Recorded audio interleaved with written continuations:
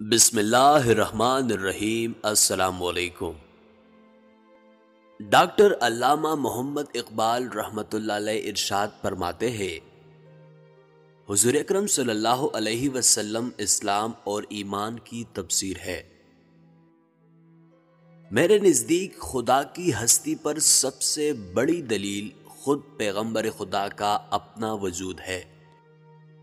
याद रखो दुनिया की कोई कौम अपना उसूली कौमियत छोड़कर ज़िंदा नहीं रह सकती। जिस कौम ने औरतों को ज़रूरत से ज़्यादा आज़ादी दी, वो कभी न कभी ज़रूर अपनी गलती पर पशेमान हुई। वो फलसफा और मजहबी तालीम जो इंसानी शख्सियत की नशनुमा के मुनाफी हो, बेकार चीज़ है। नेमत के बाद इंसान को जरब नसीब ना हो तो नेमत लानत बन जाती है।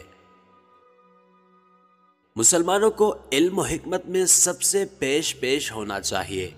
उनका इल्मी विरसा बड़ा अजीम और काबिल फखर है।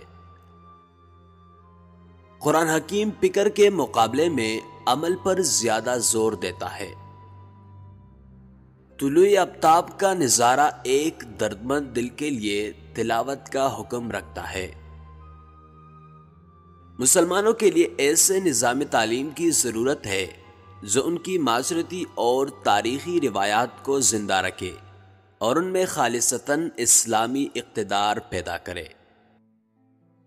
कौम शायरों के दिलों में जन्म लेती है लेकिन सियासतदानों के हाथों नशोनुमा पाती और मर जाती है।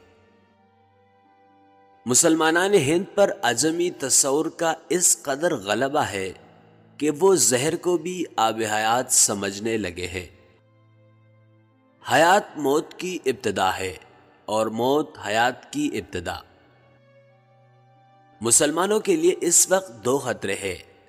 एक जोग्राफियाई कौमियत दूसरा वहदत उम्मत की नफी मेरे अबाव अजदाद ब्राह्मण थे, उन्होंने अपनी उम्र इसी सोच में गुजारी कि खुदा क्या है।